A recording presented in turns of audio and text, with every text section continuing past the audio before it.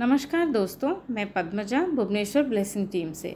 हम चर्चा कर रहे हैं तरकम सत्यान जी के द्वारा लिखी हुई किताब कर्म और पुनर्जन्म के आठवें चैप्टर जो है द अदर वर्ल्ड एंड कर्म उसके हम द्वितीय खंड पे आज हैं।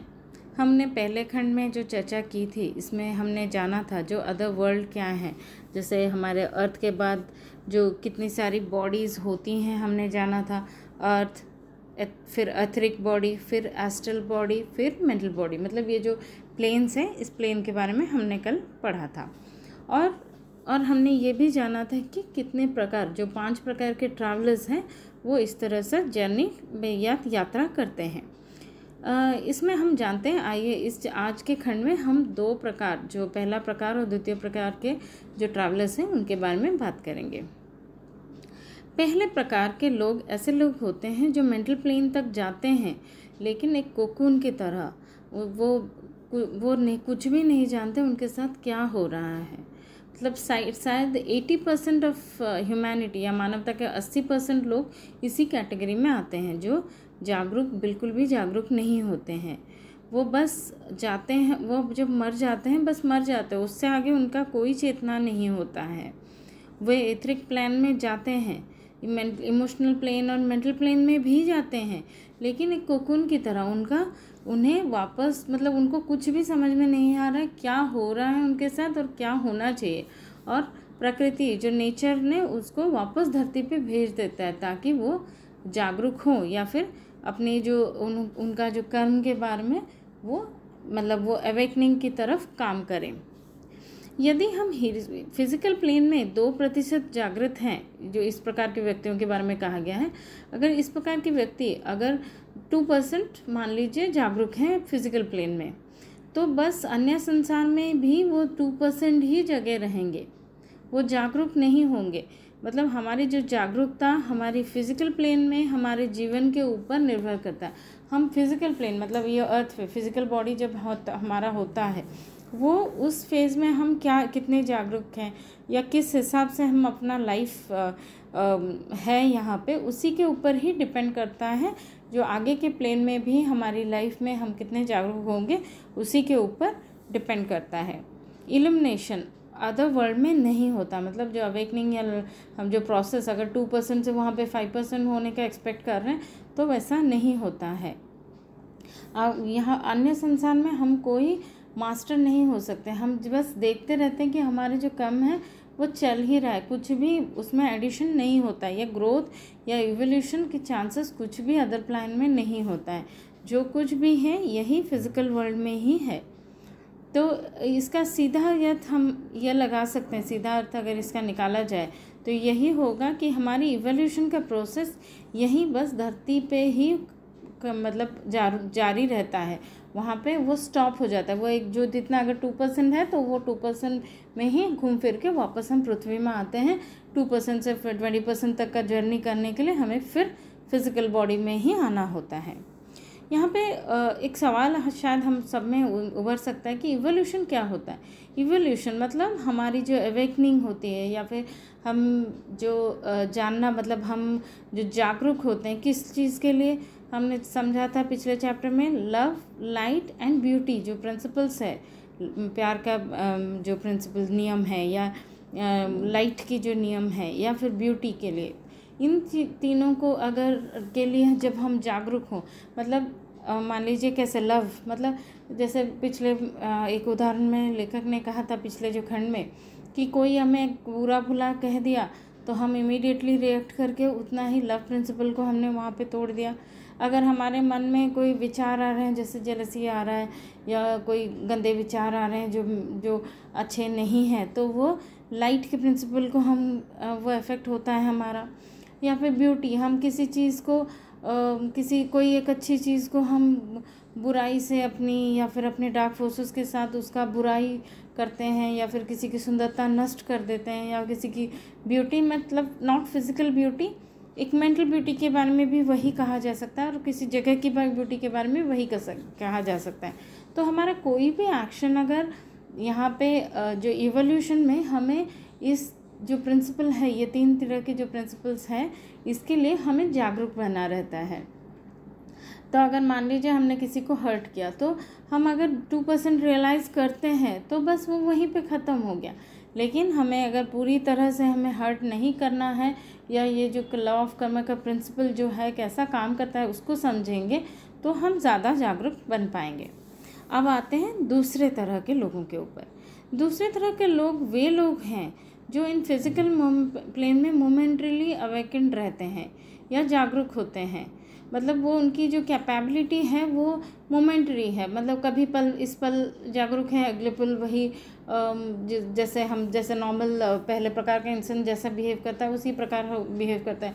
बट कभी कभी मोमेंटरीली हमें ये लगता है कि हमने यहाँ पे गलत किया या हमें पश्चाताप होता है या हम जागरूक होते हैं या फिर वापस इसे ना करने के ठानते भी हैं। लेकिन हम फुल्ली अवेकेंड नहीं है हम। ऑल द टाइम मतलब पूरी ज़िंदगी हम दुख या उस तरह का प्रिंसिपल के लिए पूरा चीज़ हम अवेकेंड नहीं है। तो वहाँ पे बस हमारा जो आ, हमारे जो विचार हैं या फिर मान लीजिए थॉट एक्शन स्पीच मतलब काय मन वाक्य मतलब फिजिकली एक्शन मन में भी जो विचार चल रहे हैं और हमारी स्पीच अगर यहाँ पे जो हो रहा है या फिर उतना ही मतलब जो चल रहा है, हमारे दिमाग में अभी कुछ भी बुरा चल रहा है या फिर अच्छा चल रहा है, जो हिसाब से हम जो देख रहे हैं, एक घटनाक्रम घट रही है और हमारे मेंटल प्लेन में या फ़िज़िकल लेवल पे जो भी हम कर रहे हैं, उसका जो इफ़ेक्ट है, हम देख के अभी खुश हैं कि उसने मुझे सुनाया मैंने दो दो उसको भी चार शब्द सुना दिए। पर उसका एक्चुअल इफ़ेक्ट क्या होता है, हम जब जो एथरिक प्लेन में जाते हैं वहाँ पे ही हमें समझ में आता है। मतलब लेखक लिखते हैं, जो हेल की hell this is what is hell मतलब जो नर्क या हेल जिसको कहा गया है, ये यही फ़ेज़ है।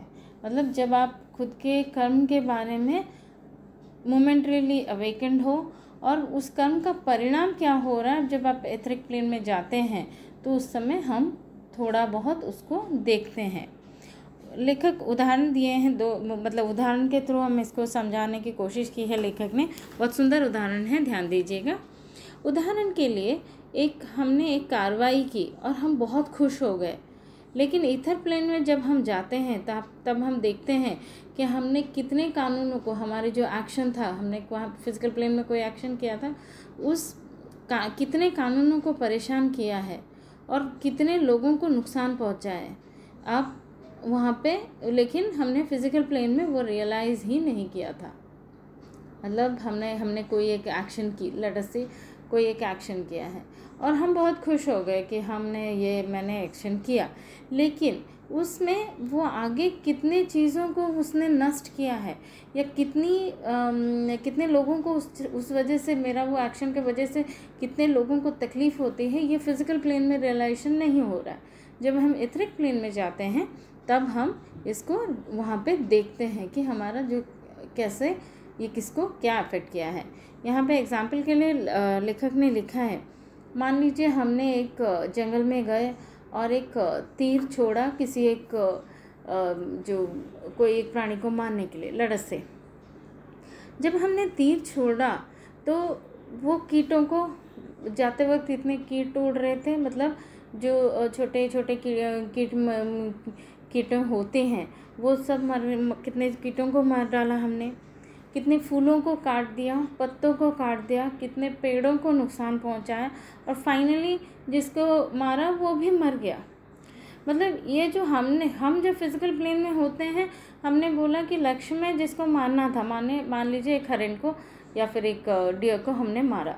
तो अगर हमारा फाइनल था कि वो मर गया, लेकिन ये जो बीच में कितने लोगों को तकलीफ़ हो रही है, वो हमें समझ में ही नहीं आया है। जब हमें हमें आखिरकार हमें लगता है कि हमने उसको मारा और हम खुश हो गए और ये ख़त्म हो गया, पर ये ऐसा नहीं है। ये ये तो एक एग्ज़ाम्पल था, ये एक एक्शन का। हमारे शब्द, हमारे एक्शन या कार्य इवन हमारे विचार भी लगातार नुकसान करते जा रहे हैं। अगर ये विनाशकारी और हानिकारक होता है मतलब हमें काय मन वाक्य से कुछ ना कुछ डिस्ट्रॉय करते रहते हैं कंटिन्यूसली वही चलता रहता है। एक जब भी हम ये, एक जागरूक व्यक्ति हो, वो होता है, जो अपने कार्य, कार्यों का प्रभाव वो अन्य संसार में देखता है। ये पहले प्रकार के भी आदमी ने भी यही गलतियाँ की, दूसरे प्रकार के आदमी ने भी यही गलतियाँ की। पर पहले प्रकार कोकन में जैसे दे बिना देखे, बिना जाने वापस आ गया। पर ये जो दूसरे प्रकार का यहाँ पे है, ये कॉन्शियस है कि हाँ ये मेरे तरफ़ से गलत हुआ। तो वहाँ पे जाके वो एथरिक प्लेन वहाँ पे मतलब एथरिक प्लेन में जाके वो वहाँ पे ये चीज़ों को देखता है रियलाइज़ करता है। और जो वो, ये हम जो इसे देख सकते हैं और देखता है या फिर जान सकता है। ये और जो ये जो कॉन्शियस लिविंग है, ये बहुत महत्वपूर्ण है, लेकिन लोग शायद ही एक सचेत जीवन जी रहे हैं। मतलब हम जानते हैं कि conscious living very important factor for every one of us मतलब सबके लिए बहुत इंपॉर्टेंट है बट हार्डली कोई लोग होंगे जो इतना सचेत जीवन रहते हैं। वो बस एक स्वचालित रूप से या फिर ऑटोमेटिकली वो आ, कुछ चीज़ें करते जा रहे हैं चीज़ों को महसूस कर रहे हैं चीज़ों के बारे में सोच रहे हैं और जानने के और उनके कार्यों का जानते ही नहीं हैं बिना जाने कि उसका परिणाम क्या हो रहा है। हम अभी एक डाक फोर्स को बुलावा दे रहे हैं हम नेगेटिविटी कर रहे हैं हमने कोई चोरी की हमने किसी को धोखा दिया। लेकिन हम अभी बस बस एक छोटी सी तो झूठी तो बोला था मैंने लेकिन उसके परिणाम क्या है उसके बारे में वो बंदा अवगत ही नहीं होते, हम अवगत ही नहीं होते हैं। उनके कार्य का परिणाम कई प्राणियों, कई कानूनों, कई सिद्धांतों और कई मानकों या स्टैंडर्ड को परेशान करेगा। लेकिन उन्हें पता लगा, उन्हें पता लग लगता है कि वे तो बस सिर्फ़ एक छोटा सा झूठ ही तो बोला था या फिर छोटा सा कोई धोखा ही तो दिया था। लेकिन मतलब एक छोटा सा झूठ बोला गया है एक या फिर एक धोखा जो दिया गया है उसका परिणाम किस लेवल पे कितने कानून कितने सिद्धांत कितने मानक और मतलब कितने लेवल पे यह इफ़ेक्ट कर रहा है। वहाँ हमने आ, हमने तो बोलेंगे कि हमने तो एक सिर्फ़ एक झूठ तो बोला था या फिर एक जो एक धोखा ही तो दिया था पर अन्य संसार में जब ये जाता है ये एक फैंटास्टिकली ग्रो करके ये मॉन्स्टर का रूप ले लेता है। हमारा यहाँ पे एक चोरी की है। एक छोटी सी पेन की ही चोरी की लड़े से। लेकिन वो जब जाता है उस प्लेन में वो चोरी और वो इंटेंशन वो उसका सारा ही चीज़ वहाँ पे वो एक काल्पनिक रूप से विराट अवस्था लेके एक मॉन्स्टर का रूप ले लेता है। और ये जब मेंटल प्लेन तक पहुँचता है तो वो कानून की तरह हमें हिट बैक करता है। मतलब हमें वो हमें वही चीज़ हमें मानने आता है। और हम एग्जैक्टली उसी तरह का दर्द और पीड़े का, पीड़ा को में उजागर होता है। मतलब हमें तभी वो धरती पे वापस भेजता है। एग्जैक्टली हमने जो किया था एग्जैक्टली वही मतलब an eye for an eye जैसा सिचुएशन ही कह सकते हैं हम। उसी तरह से ही हमारे यहाँ पे वो फीलिंग्स जब आती हैं हमारे ऊपर या उस तरह का दुख पेन स्ट्रेस तकलीफ़, उस तरह के चीज़ों का जब हम फेस करते हैं या फिर हमारे सामने आती हैं, तभी हम अवेकन होते हैं या मतलब एक, जो उजागर, हम उजागर होता है, हमारा जो चेतना का जागृत होना, यही तभी होता है। हम जानते हैं कि हमारा कोई भी कर्म फोर लेवल्स में अफेक्ट करता है फ़िज़िकल इमोशनल मेंटल स्पिरिचुअल तो हम सिर्फ़ मेंटल लेवल तक ही यहाँ पे बात करें। हमने जो अभी देखिए, हमने ये चार लेवल पे अफेक्ट होता है, पर यहाँ पे हमने बात किया सिर्फ़ मेंटल लेवल तक ही। फिर स्पिरिचुअल वर्ल्ड में हमारा या स्पिरिचुअल हमारा जो लेवल है, उसके बारे में हम विचार ही नहीं कर रहे हैं। सोचिए, हमारी कितनी अधोगति हो रही है। फाइनली ये जो दोनों प्रकार के हमने लोगों के बारे में जाना, इसमें से हमने जाना कि हमारी जो हमें खुद जागरूक रहना या कॉन्शियस लिविंग हमको खुद ही इसी फ़िज़िकल प्लेन में ही डेवलप करना है। वहाँ पे जाके हमारा कोई ग्रोथ नहीं हो रहा है। तो फिर हमें जो भी करना है, इसी वर्ल्ड में ही करना है। तो बेहतर होगा दोस्तों, हम लोग कॉन्शियस लिविंग को अपनाएँ। तो दोस्तों, आज के लिए बस इतना ही। कल हम जो बाकी प्रकार के, जो बाकी प्रकार के जो ट्रैवलर्स हैं, हम उसको कवर करेंगे। तब तक दोस्तों खुश रहिए स्वस्थ रहिए धन्यवाद।